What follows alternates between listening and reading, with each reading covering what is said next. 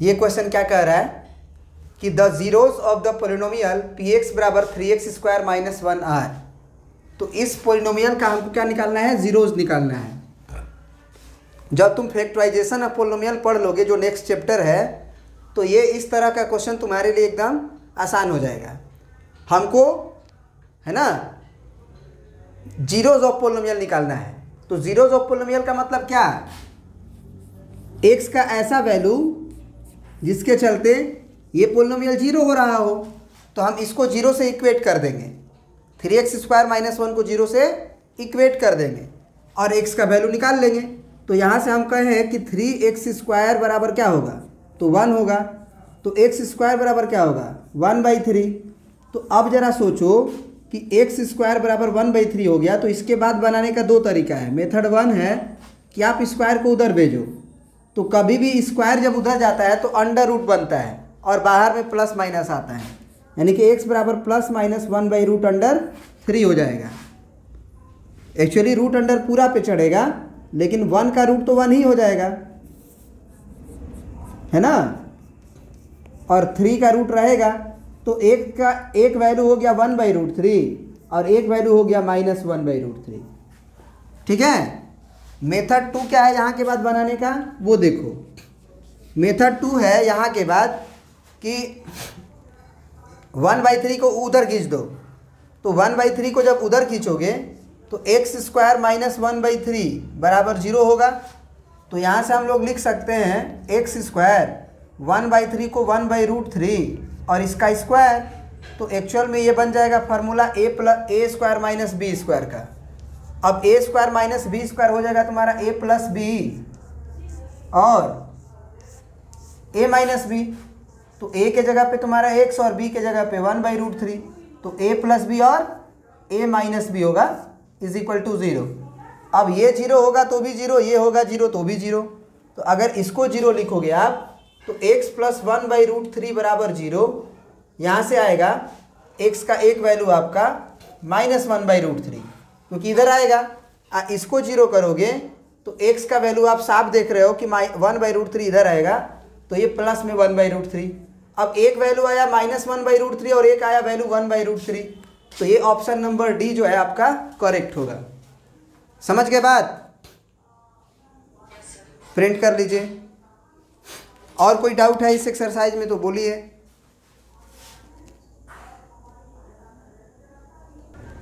अब देखो ये तुम्हारा क्वेश्चन नंबर ट्वेंटी सिक्स भी एक डाउट है, उसको भी कंप्लीट करते हैं। The zeros of the polynomial P X बराबर two X square plus seven X minus four are इस पोलिनोमियल का जीरोज बताना है। ये दोनों इसका जीरोज होगा कि ये दोनों इसका जीरोज होगा कि ये दोनों जीरोज होगा या दे, ये दोनों ज़ीरो होगा। इसका पिछला क्वेश्चन भी, जो अभी अभी हम लोग करके आ रहे हैं, अगर हमको जीरोज निकालने नहीं आता है क्वाड्रेटिक पोलिनोमियल का तो ऑप्शन से भी हम निकाल सकते हैं। जैसे अभी हमको ऑप्शन दे दिया है चार्ट हो।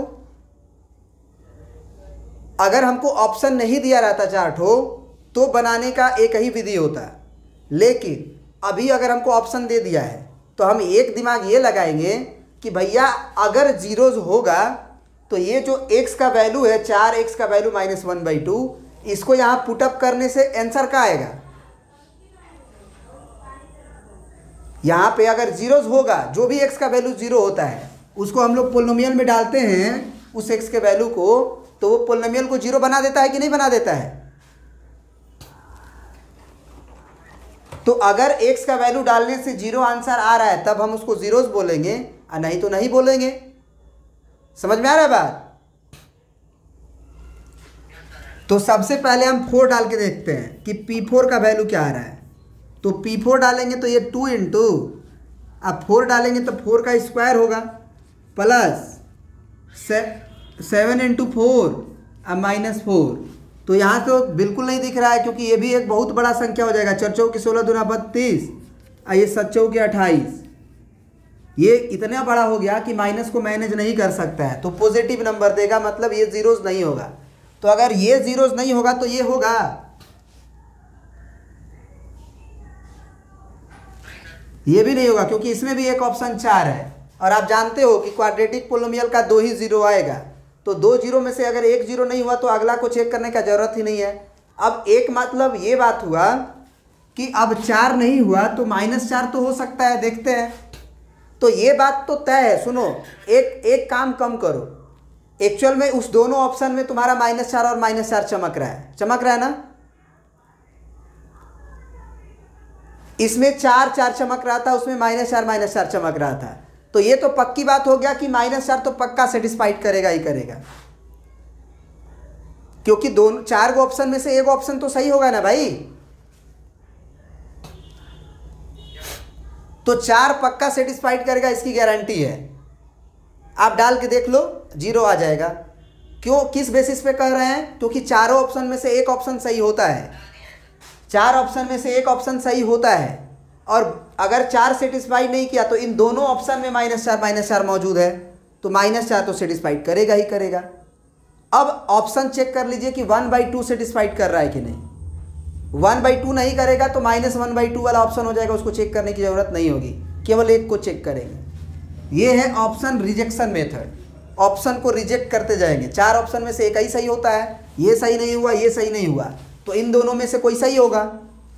तो x का वैल्यू अब हम लोग वन बाई टू इसमें डाल के देखेंगे कि p of one by two का वैल्यू क्या आ रहा है। तो p of one by two का वैल्यू निकालने के लिए हम यहाँ पे वैल्यू जब प्लग इन करेंगे तो ये हमारा वैल्यू हो जाएगा p of one by two का two into one by two का square plus seven into one by two और माइनस फोर तो ये हो गया दो और गुने, ये हो गया ऊपर में एक एकम एक और नीचे में दो, दूना चार। क्योंकि पूरे का स्क्वायर है। फिर प्लस सेवन बाई टू और माइनस चार। तो ये कट जाएगा दो से। अब ये हो गया वन बाई टू और ये हो गया सेवन बाई टू तो इसी का केवल एलसीएम लो। ये रहने दो माइनस चार को। तो टू टू का एलसीएम टू है। तो दो से भाग देंगे। मतलब एलसीएम जब सेम रहता है दोनों को तो सिंपल ऊपर जोड़ देते हैं। तो एक और सात जोड़ दो। तो सात और एक आठ। तो आठ बटे चार और माइनस का चार। सॉरी, दो था नीचे। दो चौके आठ तो चार माइनस चार, ज़ीरो हो गया ना? मतलब ऑप्शन नंबर सी करेक्ट है। क्या ये बात समझ में आया? अगला जो टॉपिक हम लोग का चैप्टर है आर एस अग्रवाल में, तुम्हारा फैक्टराइजेशन ऑफ़ पोलिनोमियल, उसमें हम लोग ऑप्शन नहीं भी दिया रहेगा तो भी इसका जीरोज निकालेंगे। मिडिल टर्म स्प्लिटिंग से, या फिर कंप्लीटिंग स्क्वायर मेथड से, या श्रीधराचार्य रूल से, किसी न किसी एक से निकालेंगे। तो चलिए प्रिंट कर लीजिए इसको। तीनों मेथड हम लोग अब अगले क्लास में देखेंगे।